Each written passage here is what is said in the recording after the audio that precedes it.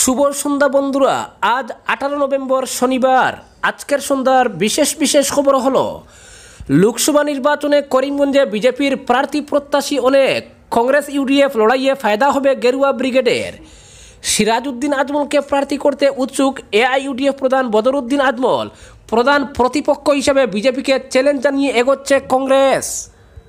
পালর বন্ধে চিরি সেতুতে ফাটল, অঘটনের আশঙ্কা। সড়কের ভাঙ্গন পরিদর্শনে বিধায়ক ও বিভাগীয় কর্তারা সমাধানের আশ্বাস, বৃষ্টি শুরু হতেই নতুন করে আতঙ্ক ফকিরবাজার এলাকায়। কাটিগোড়ায় ক্যান্সার আক্রান্ত চব্বিশ জনকে মুখ্যমন্ত্রী তহবিল থেকে সহায়তা প্রদান। কংগ্রেসে বেড়েই চলেছে টিকিটের দাবিদারের সংখ্যা। শিলচরের চর্চায় সূর্যকান্ত সরকার সৌম্যকান্তি কায়স্থ অশোক বৈদ্য, নৈরিতা জয় শুক্লা এ ব্যাপারে বিস্তারিত থাকবে প্রতিবেদনে। লামডিংয়ে উদ্ধার শিলচরের অপ্রাপ্তবয়স্ক প্রেমিক যুগল এবং সর্বশেষ খবরটি হল, শিক্ষা বিভাগে ব্যাপক রদবদল, বদলি কাতারের স্কুল পরিদর্শকও। এবারে শুনুন বিস্তারিত খবর। প্রতিদিনের সকাল সন্ধ্যার গুরুত্বপূর্ণ সংবাদ পেতে অবশ্যই চ্যানেলটি ফলো করে ভিডিওটি শেয়ার করুন। সময়ের সঙ্গে পাল্লা দিয়ে করিমগঞ্জ লোকসভা কেন্দ্রের রাজনৈতিক সমীকরণ পাল্টাতে শুরু করেছে। করিমগঞ্জ লোকসভা আসনে এখন পর্যন্ত বিজেপির প্রার্থীর এক দীর্ঘ তালিকা রয়েছে। কেন্দ্রটি সংরক্ষণমুক্ত হতেই শাসক দল থেকে অনেকেরই প্রার্থী হওয়ার বাসনা রয়েছে। যাদের নাম বেশে বেড়াচ্ছে তাদের মধ্যে রয়েছেন জেলা সভাপতি সুব্রত ভট্টাচার্য, বর্তমান সাংসদ কৃপনাথ মালা। এএসটিসি চেয়ারম্যান মিশন রঞ্জন দাস, প্রাক্তন জেলা সভাপতি বিশ্বরূপ ভট্টাচার্য, শিপ্রাগুন মুন স্বর্ণকার, অমরেশ রায় কৃষ্ণ দাস চন্দারায় সিং সীমানন্দী, করিমগঞ্জ হাইলাকান্দি জেলার নিয়ে থাকা করিমগঞ্জ লোকসভা কেন্দ্রে প্রায় দুই লক্ষাধিক মুসলিম ভোট বেশি থাকার সম্ভাবনা। যদিও চূড়ান্ত ভোটার তালিকা প্রকাশ হলে সঠিক তথ্য পাওয়া যাবে, এই লোকসভা আসনে এবার ত্রিমুখী লড়াই নিশ্চিত। যদিও নির্বাচনের দিনক্ষণ এখনও চূড়ান্ত হয়নি, নির্বাচন দূরগুড়ায় ভেবে প্রদেশ কংগ্রেস প্রাথমিক প্রার্থী তালিকা প্রকাশ করে নিয়েছে ইতিমধ্যে। যে তালিকায় সংখ্যালঘু প্রার্থীদের প্রাধান্য দেওয়া হয়েছে, এআইইউডিএফ সুপ্রিমো বদরুদ্দিন আজমল সহ তার দলকে খুব আমল দিতে চাইছে না কংগ্রেস। তারা প্রধান প্রতিপক্ষ হিসেবে বিজেপিকে চ্যালেঞ্জ জানিয়ে এগোচ্ছে। কংগ্রেস শেষ পর্যন্ত আইনজীবী হাফিজ রশিদ আহমেদ চৌধুরীকে নিয়ে বাজিমাত করতে পারে। যদিও এখন পর্যন্ত এ নিয়ে কোনো চূড়ান্ত সিদ্ধান্ত নেওয়া হয়নি। অন্যদিকে করিমগঞ্জে এবার নিজের অনুজ সিরাজউদ্দিন আজমলকে প্রার্থী করতে উৎসুক এআইইউডিএফ প্রধান বদরউদ্দিন আজমল। সিরাজউদ্দিন আজমলকে প্রার্থী করা হলে মুসলিম বুট প্রচুর পাওয়ার সম্ভাবনা। বলতে গেলে মুসলিম বুট নিয়ে অঘোষিত যুদ্ধ হবে কংগ্রেস এবং এআইইউডিএফের মধ্যে, আর এতে করে ফায়দা হবে গেরুয়া দলের। এদিকে শিলচর লোকসভা আসন এসসি সংরক্ষিত হয় সাংসদ রাজদীপ রায়ের রাজনৈতিক ভবিষ্যৎ নিয়ে প্রশ্ন দেখা দেয়। করিমগঞ্জের সাংসদ কৃপনাথ মালা শিলচরে ঘন ঘন দৌড়ঝাঁপ শুরু করেন। তাকে বিজেপি প্রার্থী করার আবাস পেয়ে তিনি শিলচর অভিমুখী হন। কিন্তু খুব দ্রুত পরিস্থিতি পাল্টে যায়। জানা গেছে, করিমগঞ্জ সংরক্ষণ মুক্ত হলেও নতুন কাউকে প্রার্থী করা নাও হতে পারে। ফলে কৃপনাথ মালাফের নিজের কেন্দ্রেই মনোনিবেশ করেন। শিলচরে তাকে প্রার্থী করে দল বিশেষ ঝুঁকি নিতে চাইছে না। ফলে শিলচর করিমগঞ্জ দুটি আসনে এসসি প্রার্থী হলে অবাক হওয়ার কিছু থাকবে না। কেননা দলের কাছে গুরুত্বপূর্ণ হল প্রার্থীর জয়। বরাকের দুটি আসন বিজেপি পাবে বলে দলের কেন্দ্রীয় নেতৃত্বকে আশ্বস্ত করেছেন মুখ্যমন্ত্রী। ফলে সেই অনুযায়ী কাজ চলছে বলে বিশেষ সূত্রে প্রকাশ। পরবর্তী খবরটি হল, পালরবন্দে সাঁত্রিশ নম্বর জাতীয় সড়ক থেকে লক্ষ্মীপুর অভিমুখী পূর্ত সড়কের শুরুতেই চিরি নদীর উপরে একটি আরসিসি সেতু রয়েছে। গুরুত্বপূর্ণ এই চিরি সেতুর একেবারে মধ্যখানে এক বিশাল ফাটলের সৃষ্টি হয়েছে। প্রায় পাঁচ দিন থেকে সেতুর মধ্যে ফাটলটি ধীরে ধীরে বড় আকার ধারণ করেছে। বর্তমানে সেতুর ফাটলটি বিপজ্জনক হয়ে দাঁড়িয়েছে। এতে যে কোনো সময় বড় অঘটন একেবারে নিশ্চিত। খুব শীঘ্রই সেতুর ওই ফাটলের মেরামত না করলে ঘটতে পারে বিপদ। সেতু মেরামতে পূর্ত বিভাগের দৃষ্টি আকর্ষণ অত্যন্ত জরুরি হয়ে পড়েছে। পালরবন থেকে লক্ষ্মীপুর পূর্ত সড়ক দিয়ে নিয়মিত হাজার হাজার যানবাহনের চলাচল রয়েছে। কিছুদিন পর পর এই সেতুতে ফাটলের সৃষ্টি হয়, নতুবা অ্যাপ্রোচ দশে যায়। এবার সেতুর একেবারে মধ্যভাগে দেখা দিয়েছে বিশাল ফাটল। দ্রুত সংস্কার না হলে বিপদ অনিবার্য বলে অভিমত এলাকাবাসীর।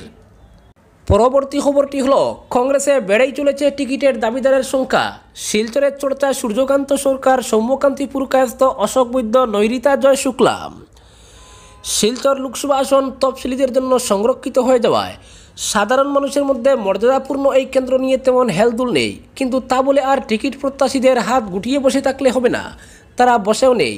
কংগ্রেসের কোথায় ধরা যাক শিলচর কংগ্রেসের হাল অনেকটা ভাঙ্গা হাটের মতো। তারপরও প্রার্থিত্বের দৌড়ে দাবিদারের সংখ্যা ক্রমশ বেড়েই চলেছে। দাবিদাররা প্রত্যেকেই জেলা ও প্রদেশ নেতৃত্বের সঙ্গে যোগাযোগ রক্ষা করার পাশাপাশি ইতিমধ্যে দৌড়ঝাঁপ শুরু করে দিয়েছেন দিল্লিতেও।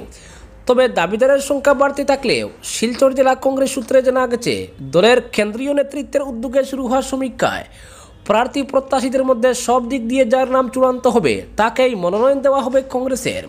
এক্ষেত্রে গুরুত্ব পাবে প্রত্যাশীদের দলের প্রতি আনুগত্য, সমাজে গ্রহণযোগ্যতা এবং শহর ও জেলায় কার কতটা জনসংযোগ রয়েছে এর উপর ডিলিমিটেশনের শিলচর আসন এসসি ঘোষণা হওয়ার পরপরই প্রার্থিত্ব প্রত্যাশীর চর্চায় প্রথমেই উঠে এসেছিল শিলচর জেলা কংগ্রেসের দীর্ঘদিনের সৈনিক। তফসিলি সমাজের অন্যতম পরিচিত মুখ বর্তমান জেলা কংগ্রেস সভাপতি অভিজিৎ পাল ঘনিষ্ঠ সূর্যকান্ত সরকারের নাম। এরপর চর্চায় আসেন ওএনজিসি ওয়ার্কার্স ইউনিয়নের নেতা প্রাক্তন আধিকারিক অশোক বৈদ্য। তৃতীয় নামটির সঙ্গে শিলচর বা কাছাড়বাসীর সেই অর্থে পরিচিতি না থাকলেও তার পরিবারের শেকড় রয়েছে এই অঞ্চলেই। তিনি দিল্লির কর্পোরেট জগতের সঙ্গে যুক্ত। কাছাড়ের সন্তান সৌম্যকান্তি পুরকায়স্ত জানা গেছে তিনি আত্মীয়তার সূত্রে কাছাড়ের ফুলবাড়ির বিশিষ্ট ব্যক্তিত্ব প্রয়াত নিহার রঞ্জন লস্করের নাতি। জেলার বাইরে থাকলেও টিকিটের দাবিতে এই শিক্ষিত ব্যক্তিকে ঘিরে ইদানিং চর্চা বেশ তুঙ্গে। দলে তার হয়ে শিলচর সহ দিল্লি দিশপুরে কথা বলার, টিকিটের জন্য তদবির করার সংখ্যা বাড়ানোর জোর চেষ্টা চালাচ্ছেন সৌম্যকান্তি পুরকায়স্ত প্রাথমিক পর্যায়ে এই তিনজনের পর কংগ্রেস টিকিটের চতুর্থ দাবিদার হিসেবে উঠে এসেছে করিমগঞ্জের প্রাক্তন সাংসদ ললিত মোহন শুক্লবদ্ধের নাতনি, নৈরিতা জয় শুক্লার নামও। আসাম প্রদেশ কংগ্রেস সভাপতি ভূপেন বরার ঘনিষ্ঠ নৈরিতা দলের রাজ্য কমিটির মুখপাত্রের দায়িত্বে রয়েছেন বর্তমানে। দায়িত্বে রয়েছেন শিলচর জেলা কংগ্রেস আইটি সেলেরও।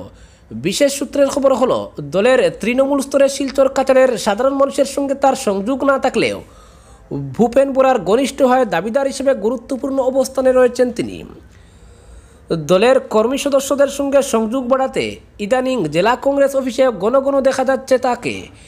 এমনকি ডিলিমিটেশনের শিলচর আসনটি আদৌ সংরক্ষিত হবে কিনা, এ নিয়ে যখন সংশয় ছিল, তখন করিমগঞ্জ কংগ্রেসের জেলা নেতৃত্বের সঙ্গেও যোগাযোগ রক্ষা করে চলছিলেন নৈরিতা। অর্থাৎ শিলচর সংরক্ষিত না হলে করিমগঞ্জ থেকেও এবার কংগ্রেস টিকিটের দাবিতে অনড় ছিলেন দলের এই নতুন মুখ। তবে ডিলিমিটেশন চূড়ান্ত হওয়া মাত্রই তিনি শিলচরে ব্যাপক দৌড়ঝাঁপ শুরু করেছেন। কংগ্রেসের টিকিট প্রত্যাশীর দৌড়ে রয়েছেন শিলচর পুরসভার বিতর্কিত প্রাক্তন চেয়ারম্যান বিনয় কৃষ্ণ দাসও। কিছু সমর্থক পঞ্চম প্রত্যাশী হিসেবে তার হয়েও টিকিটের দাবিতে সরব হয়েছেন।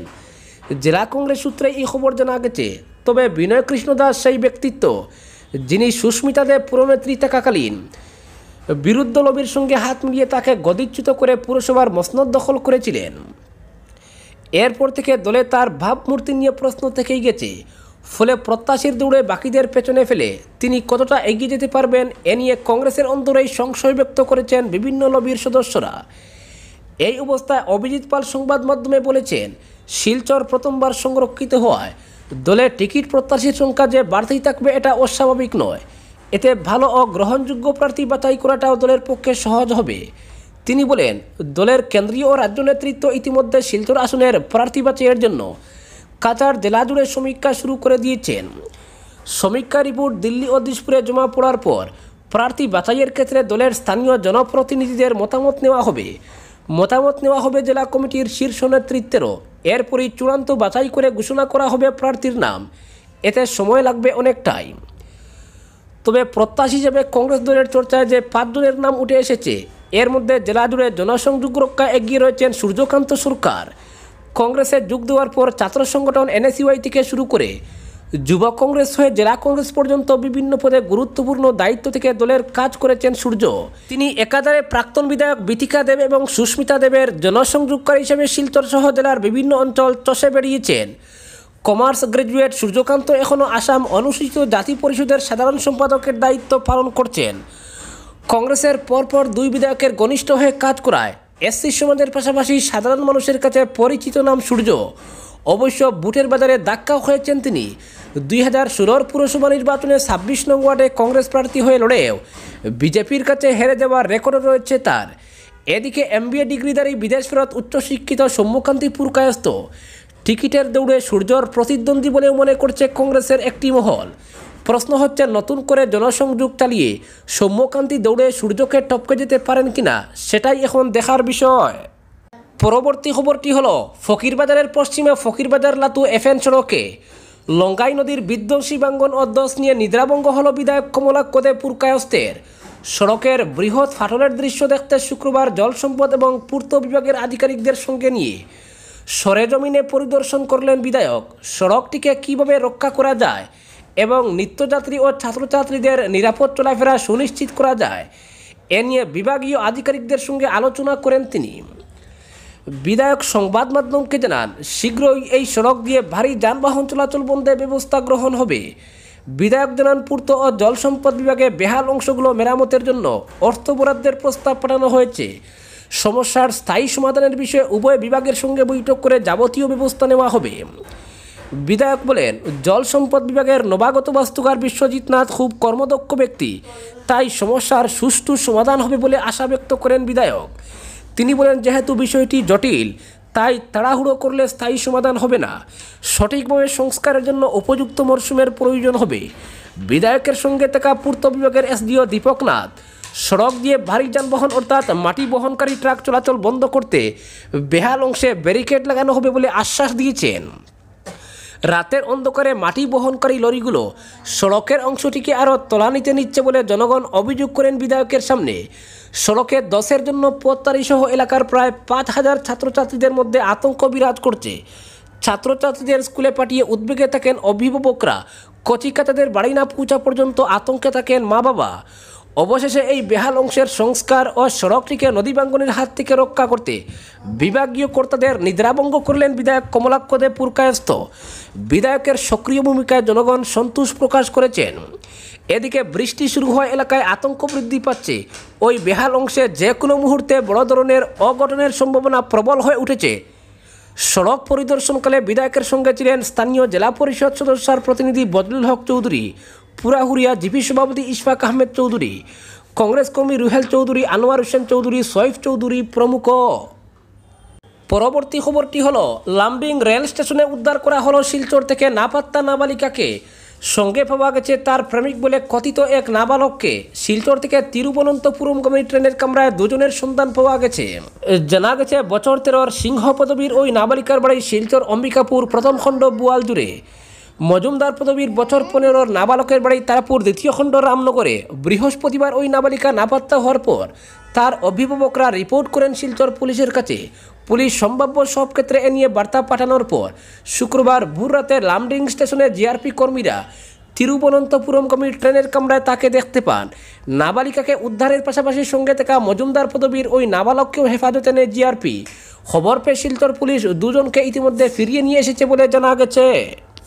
পরবর্তী খবরটি হলো? রাজ্যের শিক্ষা বিভাগের স্কুলসমূহের পরিদর্শক এবং জেলা প্রাথমিক শিক্ষা আধিকারিক পর্যায়ে ব্যাপক রদবদল করা হয়েছে। রাজ্যের স্কুল শিক্ষা বিভাগ এ সংক্রান্ত একটি আদেশ জারি করেছেন। এতে কাছাড়ের স্কুলসমূহের পরিদর্শক ও জেলা প্রাথমিক শিক্ষা আধিকারিক সেমিনা ইয়াসমিন আরা রহমানকে সমমর্যাদায় হাইলাকান্দি বদলি করা হয়েছে। নলবাড়ি জেলা প্রাথমিক শিক্ষা আধিকারিক সীমান্ত কুমার ডেকাকে গোলাঘাট, সুনিতপুরের স্কুলসমূহের পরিদর্শক প্রভাত দাসকে নগাঁও নগাঁর মৃদুলনাথকে সুনিতপুর, কবিতা টেকাকে দেমাজি থেকে তিনসুকিয়া, বিটুপন হাজারিকাকে তিনসুকিয়া থেকে দেমাজি, ডক্টর সমীরণ বোরাকে গোলাঘাট থেকে ডিব্রুগড়, বিনতি শর্মাকে ডিব্রুগড় থেকে চোরাইদেও ও নলবাড়ির স্কুল পরিদর্শক জয়ন্ত ঠাকুরিয়াকে একই জেলার জেলা প্রাথমিক শিক্ষা আধিকারিকের অতিরিক্ত দায়িত্ব অর্পণ করা হয়েছে। আজকের বিশেষ বিশেষ সংবাদ এখানেই সমাপ্ত।